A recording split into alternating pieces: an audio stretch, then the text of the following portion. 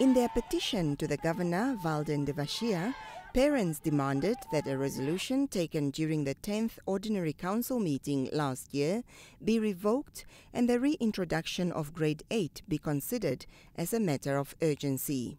We want the Honorable Governor, as the political head of the region, to intervene in ensuring that the Regional Council resolution C11 stroke 10 stroke 12 stroke 21 that states that, and I quote, after the deliberation on the request from School Board of Haimbili Haufiku Senior Secondary School, the House resolves that the Director of Education, Art and Culture should make all necessary arrangements to ensure that grade 8 returns to Haimbili Haufiku Senior Secondary School for academic year 2022 as a matter of emergency. The group has given the Directorate of Education until the 20th of this month to respond favorably, adding that should that fail, they will go to the next level.